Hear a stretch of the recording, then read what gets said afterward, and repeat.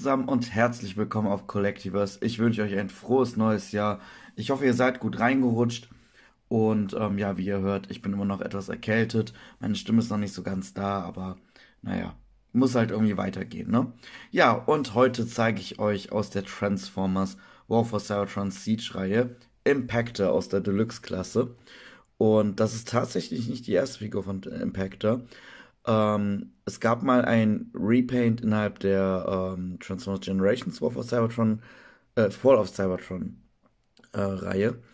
Ähm, dort war er ein Remold von ähm, Deluxe Class Onslaught, der sich dann mit den anderen ähm, Wreckers zu Ruination verbinden lassen konnte.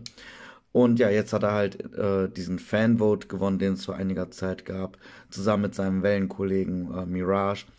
Äh, zudem gab es noch ein Dreier-Set, wo dann halt, ähm, war es jetzt äh, Cock, ich glaube ja, ähm, ein Repaint von Cock, ähm, ein Repaint von ihm hier mit äh, comic-akkuraterem Gesicht und äh, Mirage in einer ähm, blau-transparenten Version, auch mit anderem ähm, Kopf, der der ähm, Actionfigur aus den 80ern nachempfunden wurde.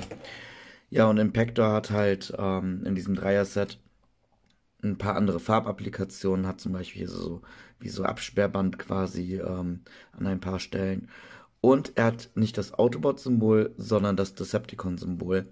Ähm, ich hatte vor einiger Zeit mal die IDW-Comics gelesen, da wurde darauf Bezug genommen. Müsste ich jetzt, wie es genau alles war, nochmal raussuchen.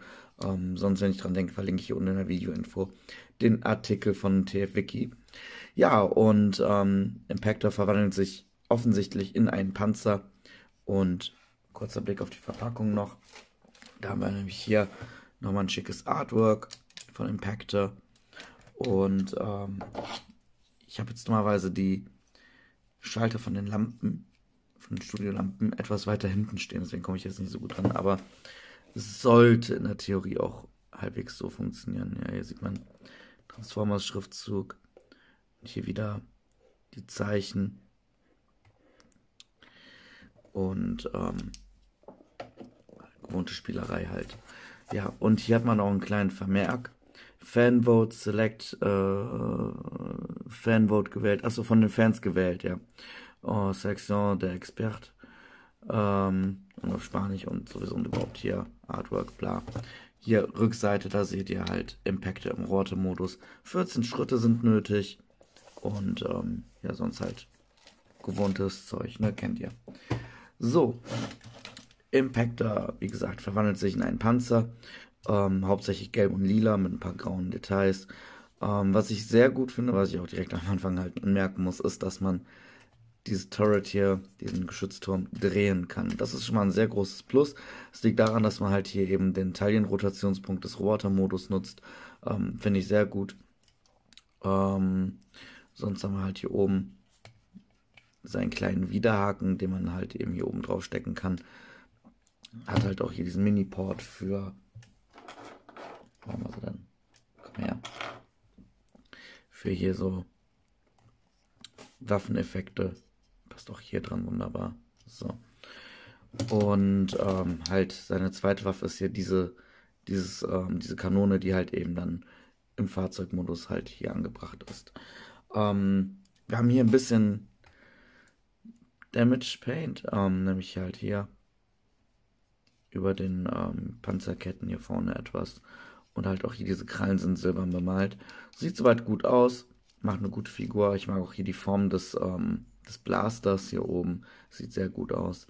Und ja, auch hier wieder massig Möglichkeiten halt irgendwas dran zu stecken und hier so seine kleinen Experimente durchzuführen.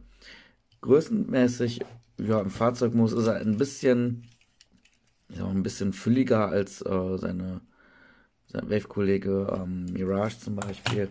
Oder jetzt mal Vergleich noch hier zu Sideswipe. Merkt man schon, der ist ein bisschen bulliger. So, weg mit euch. Transformation ist äh, relativ einfach, wie gesagt, 14 Schritte. Ich fange damit an, dass ich hier diese Teile löse. Ja, komm schon. Ah, das ist auch relativ gut alles klappe das jetzt soweit erstmal ein bisschen nach unten. Kann jetzt hier Oberkörper und Unterkörper zusammenklappen. Hakt schön ein. So, und klappe jetzt hier diese Sektion runter. Nehme die Beine auseinander und kann das jetzt hier so reinklappen. Und so. Dann nächster Schritt ist, dass wir die Füße ausklappen. Ist auch relativ easy. Braucht ihr keine Angst vor haben. So. Dann braucht es hier ein bisschen Kraftaufwand, um halt hier diese Verbindung zwischen ähm, Arm und Kanone zu lösen. Und dann klappt man die Arme so seitlich raus. Kann ich jetzt natürlich auch hier die Knarre abnehmen. So. Jetzt wird das hier runtergeklappt, bildet somit die Brust des Roboters. Das hier, die Unterarme um 180 Grad drehen. So, jetzt klappe ich hier die Faust aus. Kann ich hier auf der Seite auch. Der hat zwei Hände. Oder aber ich kann die rechte Faust drin lassen und hier diesen Widerhaken dran stecken und habe halt hier diesen comic-akkurateren Look. So, hier diese Knarre wird jetzt auf Seite gedreht. Ist auch ziemlich intelligent gemacht eigentlich. Finde ich cool. Und der Kopf wird rausgeklappt. Der sitzt bei mir ziemlich, ziemlich fest. Also brauche ich immer ein bisschen, bisschen Hilfsmittel und passenderweise kann man hier mit dem Widerhaken sehr gut den Kopf raus, äh, rausfuddeln. So. 180 Grad drehen, Klappe zu, Affe tot und so. Und fertig ist Impactor im. Jetzt kriegt natürlich noch seine Knarre. So. Und fertig ist er. Sieht auf jeden Fall im Rotormodus ganz nett aus. Macht nichts falsch, finde ich. Ähm, hat eine, zumindest optisch, ähm, macht, äh, hat eine sehr, wie soll ich sagen, kräftige Statur. Ist auch sehr groß, zeige ich gleich mal im Größenvergleich. Und ähm, auch der Kopf gefällt mir sehr gut. Die Farbapplikationen sind gut. Hier haben wir das Autobot-Symbol. Wirkt natürlich äh, ein bisschen interessant dadurch, dass es halt eben äh, nicht äh, ausgefüllt ist, die Farbe, sondern dass es halt nur diese silbernen Umrisse sind. Dadurch haben wir jetzt ein lilanes Autobot-Symbol. Sieht gut aus. Und ähm, Rückseite. Also wirklich, man hat hier möglichst auf Kibbel verzichtet. Finde ich sehr gut. Ähm, allerdings, was mich etwas stört, ist, dass halt hier diese, na, hier, hier auf der Seite sitzt ein bisschen fest, aber ich finde halt hier ist es halt doch sehr wackelig und das finde ich halt ein bisschen schade. Also es hätte ich mir gerne ein bisschen fester gewünscht oder halt halt irgendwie noch ein Pin, der das Ganze halt noch fest steckt oder so, ähm, weil es ist mir ein bisschen zu wackelig. Gerade wenn man halt jetzt irgendwie die Füße mal auf Seite klappt, dann hat man hier halt wieder mehr Bewegungsspielraum. Ja gut, so weit klappt man die Füße natürlich eher nicht, aber ich denke, ihr wisst, was ich meine. Natürlich kann er halt eben auch breitere Posen einnehmen. Füße machen das mit, wunderbar. Und Beweglichkeit ist auf ziemlich gutem Niveau, wie man es halt eben von den Siege-Figuren gewöhnt ist. 90 Grad Knie, Taillenrotation sitzt ein bisschen weiter höher, also es ist halt wirklich mehr so, so Torso-Rotation. Transformationsbedingt, aber immerhin hat man halt hier ein Rotationsgelenk eingepackt. So dann halt Schultern, keine Probleme. Ellenbogen, gute 90 Grad. Kopf ist natürlich auf Kugel.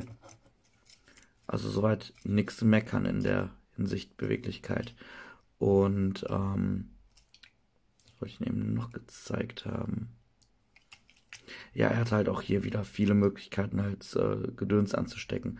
Zum Beispiel hier oben auf der Brust ist halt so ein kleiner Port, um halt eben Waffeneffekte anzuklippen. Oder hier, oder, ne, das ist hier in den Schultern.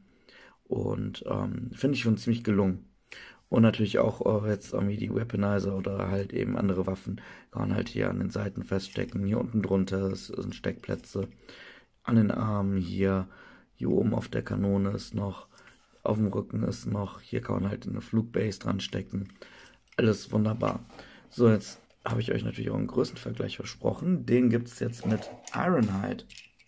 Ich dachte mir, ich stelle mal zwei relativ große Kerle nebeneinander und ihr seht schon, dass äh, Impactor sich da für Ironhide nicht verstecken braucht. Also sie sind äh, relativ gleich groß und ähm, geben da schon eine ganz gute bullige Figur ab. Also die beiden nebeneinander und da weiß, das sind die Tanks, die stehen ganz vorne und verteilen Schellen. Passt. Und ähm, noch schnell einen Vergleich mit Optimus Prime. So. Ja, seht ihr schon. Also für eine Deluxe-Figur ist der wirklich wieder sehr groß geworden.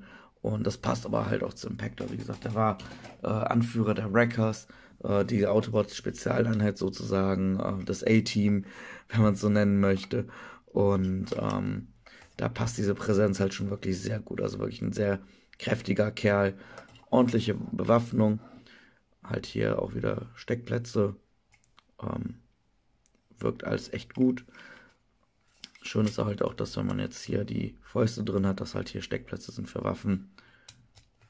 Also alles soweit gut ausgestattet. Kann ich nicht meckern. Nur wie gesagt, irgendwie ähm, das mit den Beinen, diese Konstruktion hier mit den ähm, diesen Platten hier, das ist mir zu wackelig, äh, nicht zu fest genug. Dafür ist im Fahrzeugmodus wirklich alles fest, das ist alles, wo es soll. Und da habe ich nichts zu meckern. Ähm, sonst eine wirklich gelungene Figur, also gerade für Fans von Impactor dürfte das ja wirklich ein Sahne-Stückchen sein. Und ähm, oder für Fans der IDW Comics oder halt eben für Fans der Wreckers, ähm, kann ich durchaus sagen, zulegen. Der macht Bock, der Kerl. Und ähm, ja, schickes Ding. Wie findet ihr Impactor? Habt ihr die Comics gelesen? Was sagt ihr zu den Wreckers? Äh, wer ist euer Lieblingswrecker? Schreibt es mir in die Kommentare. Wenn ihr die Figur käuflich erwerben wollt, schaut hier in unsere Videoinfo. Da ist der Link zu Actionfiguren24, unserem Partnershop. Da könnt ihr das Kerlchen hier käuflich erwerben. Und sonst würde ich mich freuen, wenn ihr ein Däumchen nach oben da lasst. Und wenn ihr es noch nicht getan habt, lasst ein Abo da, macht die Klingel an, dann kriegt ihr auch eine Benachrichtigung, wenn ein neues Video hochgeht. Und ich würde mich freuen, wenn wir uns beim nächsten Mal wiedersehen. Hoffentlich dann mit etwas besserer Stimme meinerseits. Ich bedanke mich bei euch. Bis zum nächsten Mal.